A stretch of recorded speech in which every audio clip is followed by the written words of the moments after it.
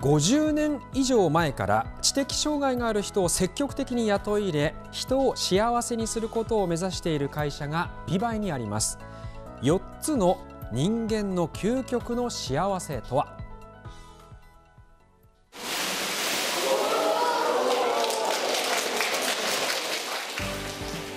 美唄の元中学校の校舎に咲き誇る桜。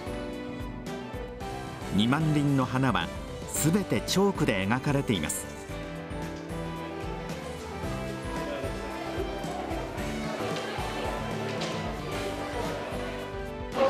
綺麗な色をいっぱい使ってた。で本当にチョークなのかなと思ってね近づいてこう見たらチョークなんですよね。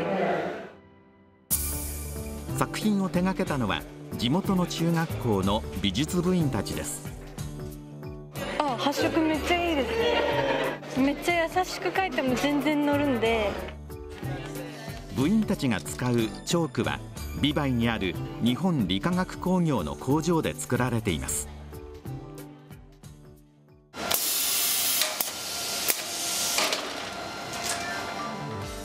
1967年の創業開始以来変わらず従業員が一本一本手作りしています。1日に生産するチョークは20万本。生産量商品シェアともに日本一を誇ります。生産を支えているのは26人の従業員たちです。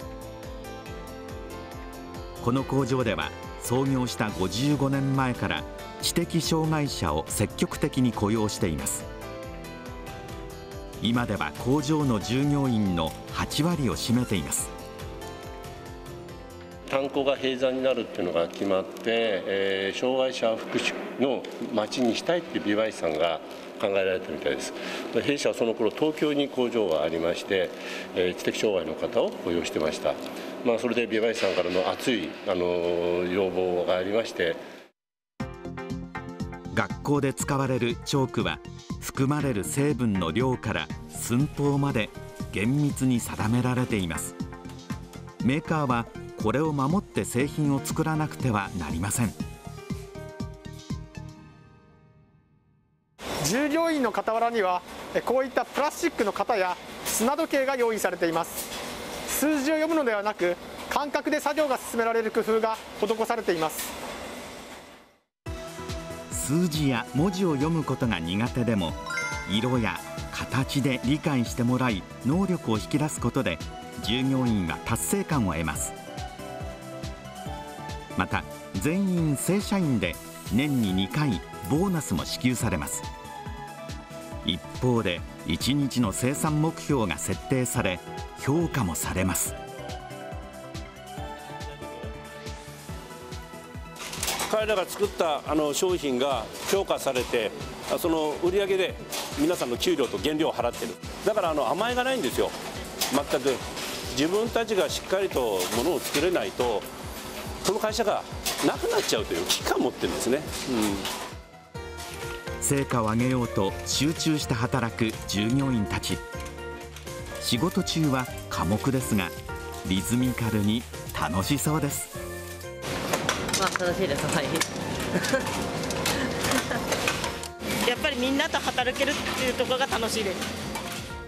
いい製品を送るようにお客さんに送る喜んで食べるよやってます、はい、この工場が障害者を積極的に雇用する理由を日本理化学工業の前の社長大山康弘さんは生前こう語っていました。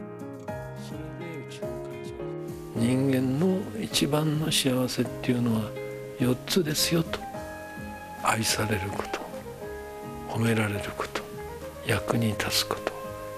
人に必要とされることなんですよとこの春50年近くにわたって会社を支えた社員2人が卒業しました。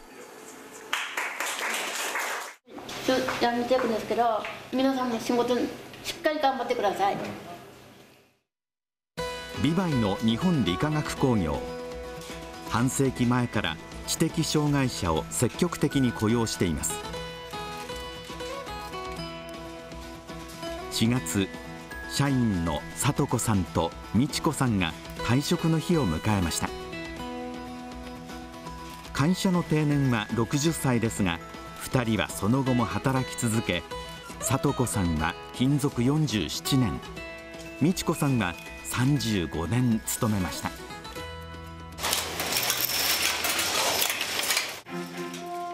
出来たてのチョークを壊さずに扱う職人技は誰にも真似できません里子さんはベルトコンベヤーにトレイを並べる係美智子さんは乾燥機からやってくるチョークをクリップから外す担当でしたお仕事してて辛かったことはありますか？ない。ありません。仕事の方が好きです。まだ死にしたかったですね。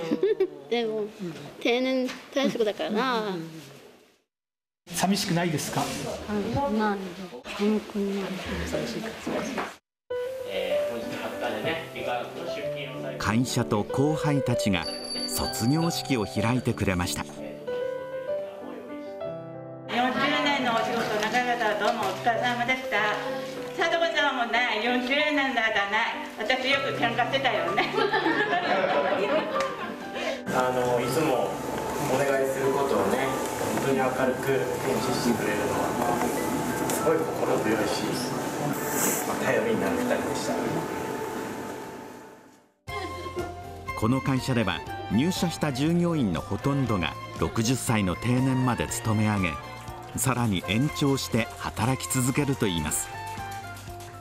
効率を求める機械化ロボット化をあえて行わず障害者の雇用を半世紀続けてきた理由を聞くと。それ入れたらどうなるかって言ったら、まあ、ここの半分はいらない。ですリストラなんですね。私の会社は働く幸せを作る一つは作る会社なんです。それが機械になったら働く幸せはなくなる。この原点がこの会社でずっと培ってきたことなんですね。